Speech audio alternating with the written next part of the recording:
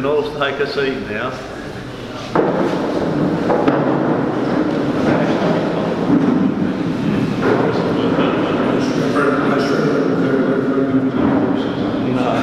Priests, members, it is my honour to introduce His Excellency the Most Reverend Archbishop Adolfo Tito Yllana. We Catholics, as Catholics with a capital C, are Catholic with small c, in time and place. From parishioners, parish priests, my bishop, Vincent in Parramatta, my Metropolitan Anthony here in Sydney, next to Parramatta, the nuncio here in Canberra, to Francis in Rome. There is also a link in time as well as space. The first nuncio in Australia, Archbishop, then Archbishop Bonaventura Cerretti, 1914 to 1917, is linked to the 16th here today. The link to number one is even more pronounced. We have the Cardinal Cerretti throne you may have seen it, it used to be the eighth floor head office, holding centre. It is now, and you will see today, it's now Brookwood. The Cardinal Cerretti throne was used at the Annual Masses in the 1928 International Eucharistic Congress. Subsequently, it was used in the ceremonies with the application of uh, Mother Mary. It was sat on by Pope John Paul II therefore reckons the second class relic. Uh, and we hope to show Archbishop today this throne and perhaps have him seated in it as another link. Uh, Archbishop Yllana, thank you.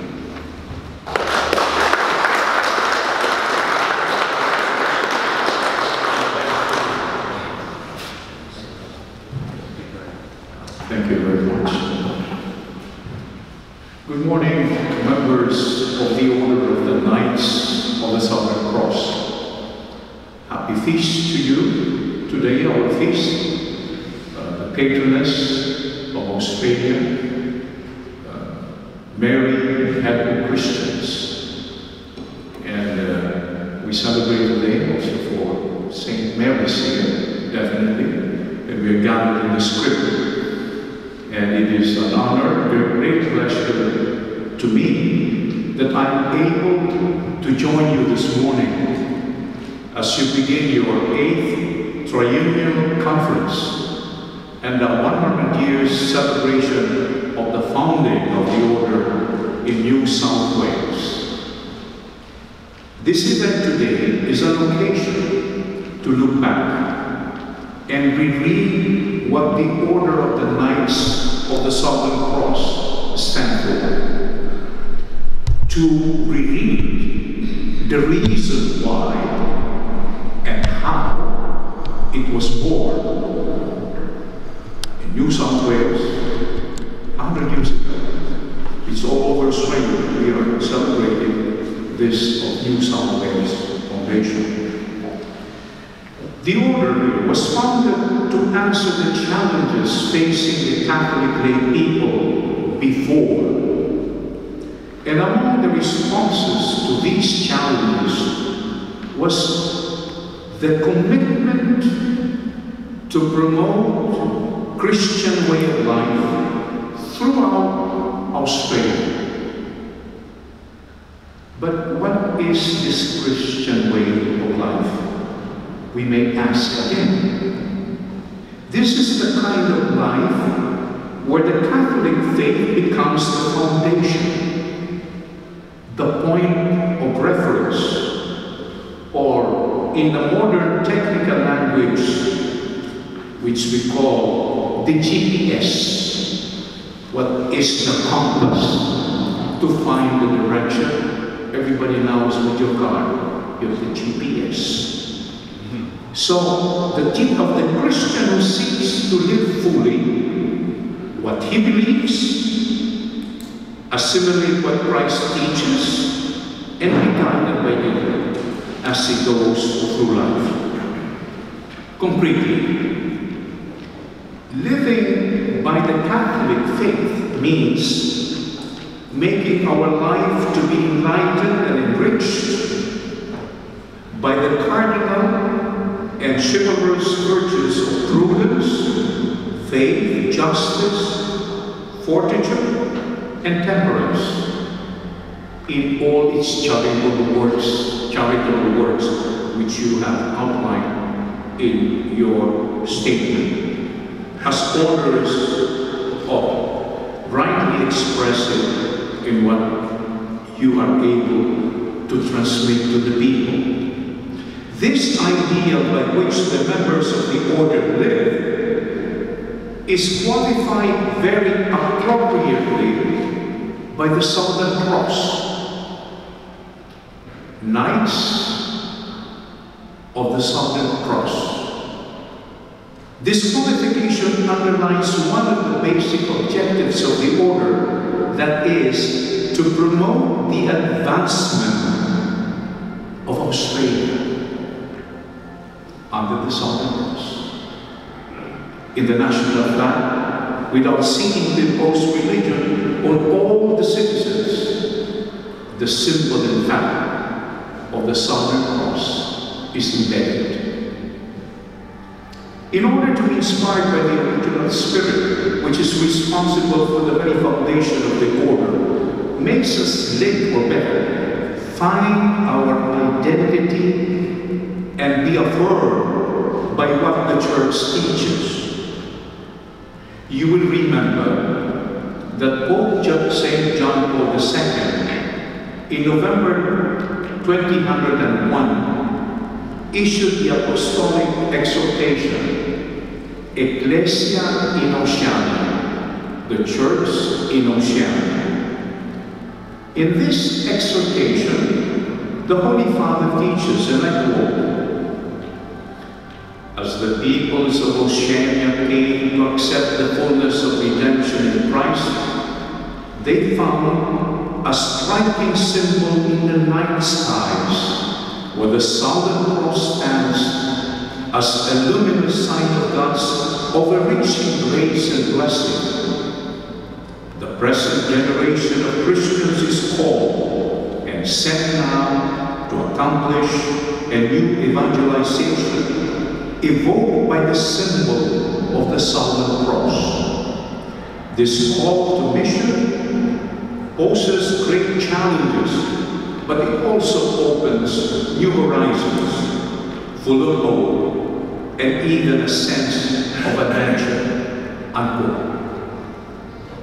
From this, we draw that the order is not a simple organization in order to stand out for recognition, but one that commits itself to become a response to the call of the church the call to mission. What the order does, the order of the Knights of the Southern Cross does, is to continue to do flows from this mission, the church's mission. When a Christian, a Catholic, lives genuinely by the faith and truly professes all the virtues we mentioned earlier, are directed towards contributing to the wider community that is the country, Australia, by its service in all the charitable and social works the order performs. We recall what Cardinal Secretary of State Pietro Parolin, reading the message of Pope Francis, stated, the inseparable one of faith and charity. Not two things separate, two entities, but intimately which inspire many chivalrous order to work for the fraternal society committed to the Christian formation and mutual support of its members. This is what he said. In our day, the Holy Father asked the entire church for a renewed consciousness of our responsibility to be guardians of one another and to live completely the faith which expresses itself through love. The mission which falls on us to embrace and fulfill by bearing witness to the love of God through concrete love and solidarity for the poor and those in need. All these we know are the objectives to which the Order of the Knights of the Southern Cross is committed. It is very essential that we keep always present in each of us, members, the mission statement of the order to proclaim and develop Christian values and ethics in society. Going back to the post-synodal apostolic exhortation, Ecclesia in Oceania, Pope John Paul II reminds us that, I quote, the Christian community must be attentive issues of social justice and spiritual hunger in society.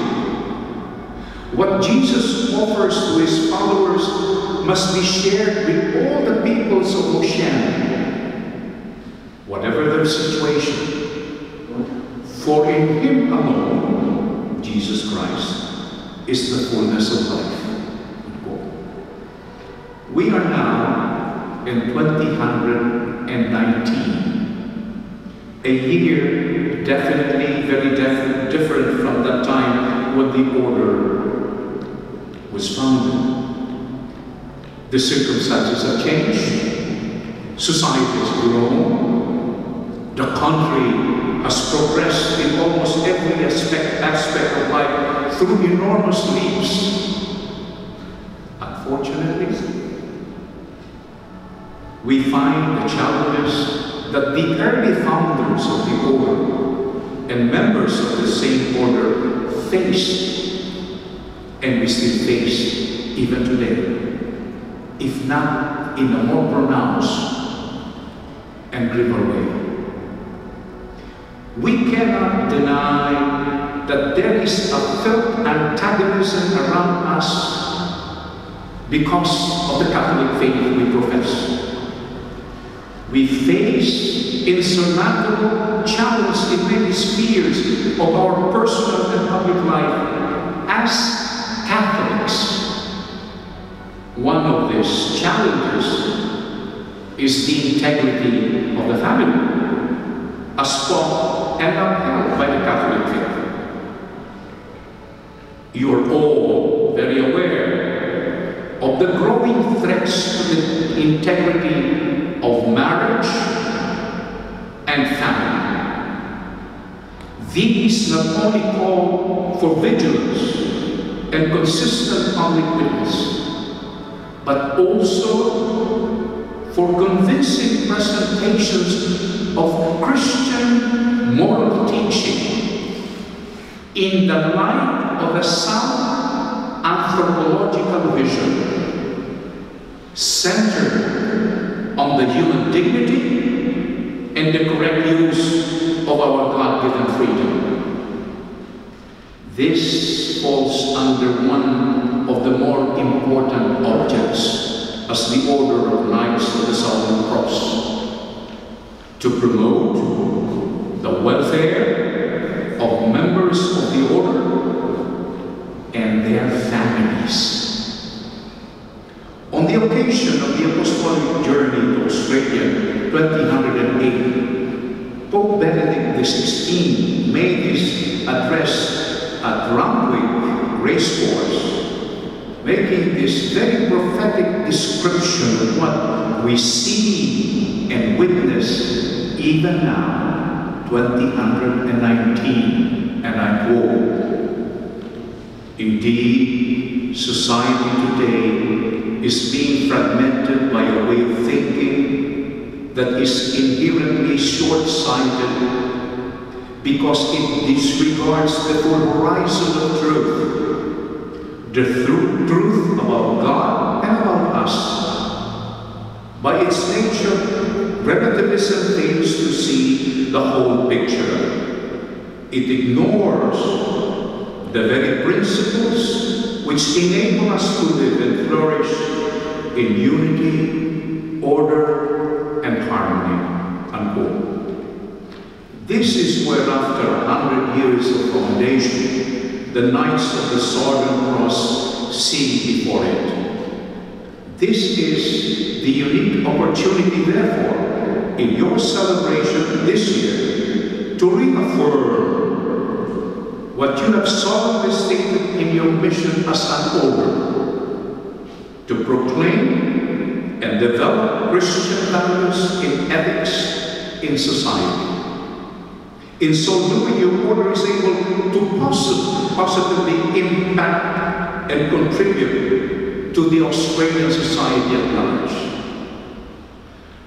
Through living concretely the chivalrous virtues of justice and temperance, you're not able only to awaken the consciousness of others towards their brothers and sisters who thirst for justice, but also a society, the peoples of this country, to be open to each other in mutual respect. We perceive today much intolerance in our society, where people are constrained either to keep silent or say something that pleases the ears of the listeners, rather than courageously witness in true love and respect to others who differ from what we hold and believe in. Intolerance does not only limit itself to religious matters, but also extends to restraining one's way of living according to his faith and convictions. For us Catholics, we are and should be guided by what the Church teaches and precisely what Christ has commanded us Given this environment, we should realize that we are not only relevant as an order in this present society, but also we are necessary. Not only for what we can do, but even more importantly, for what we can show and witness to others, being salt of the earth and light of the world.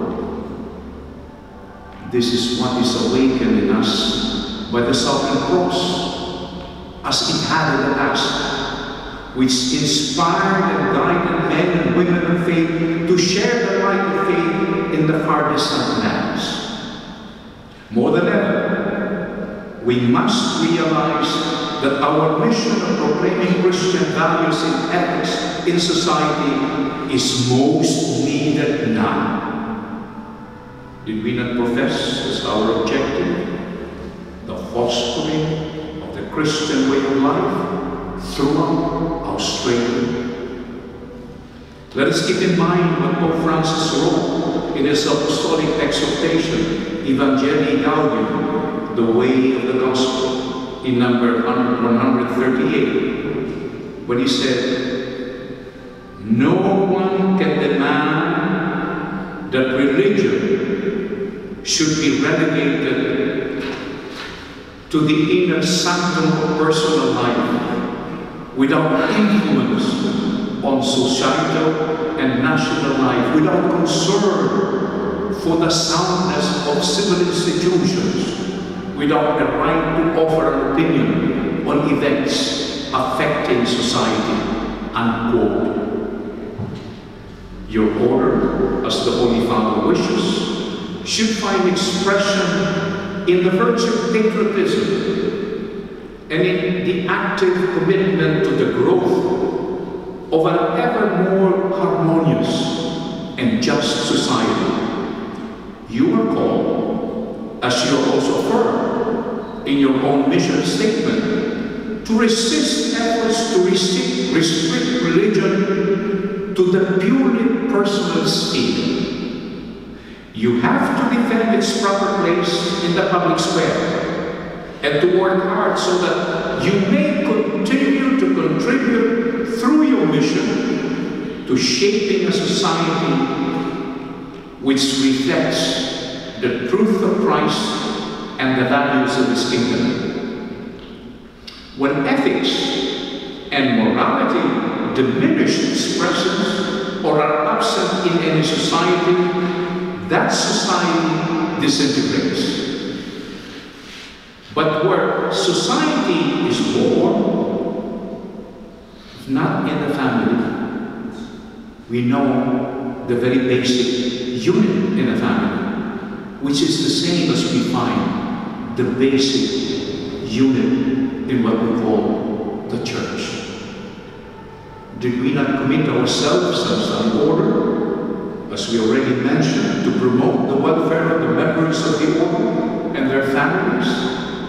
We promote the well-being of our families by defending the dignity of the family. Is this not reaffirmed as being an order guided by the Catholic faith? It is this faith that as we embrace it, we discover that its comprehensiveness, its vast vision of the state, solid yet open consistent yet dynamic, true yet constantly growing in insight that we can offer to the world, to the country we belong to, to Australia. Pope Francis is asking the whole church for a renewed consciousness in our responsibility to be guardians of one another and to live complete in the faith which expresses itself through love. He continues to encourage us to, to persevere in our effort to witness the love of God through complete love and solidarity for the poor and those in need. Your order has been doing this in many different ways, coming to the aid of those in need Continue and persevere in what you are doing for those in need. As the Gospel teaches us, the balance on which the weight of good works or the absence of it will depend on recognizing whether we find Christ among our brothers and sisters and we have come to Him to show genuine love by acts of Christian charity. Let our charitable works, then, be the visible sign of Christ's charity to those who are in need, either materially or spiritually, internally in this country and beyond its borders. I wish to offer you my heartfelt congratulations as you celebrate the 100th year of foundation of the Order of the Southern Cross here in New South Wales and pray to our Blessed Mother Mary, help of Christians, who is the patroness of Australia, and whom we commemorate today, that she may be the guiding light, the star of the sea. As you journey confidently in achieving the goals of the order, in the midst of the many tasks that lie ahead of you, may the Southern Cross inspire you all to look up to the future with optimism and hope that with God you will be able to accomplish your mission. Thank you.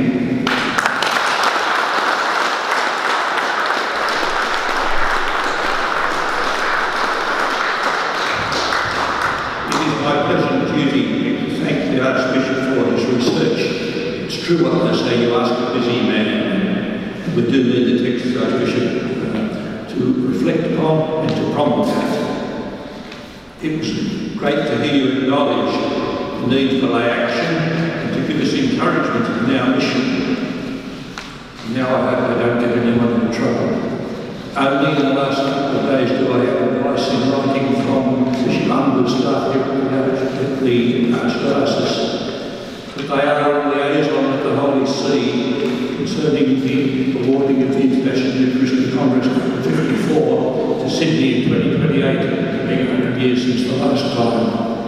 I duly hope that they have, that this is not news to your excellency, that they are working through the channels correctly. Again, thank you, Madam.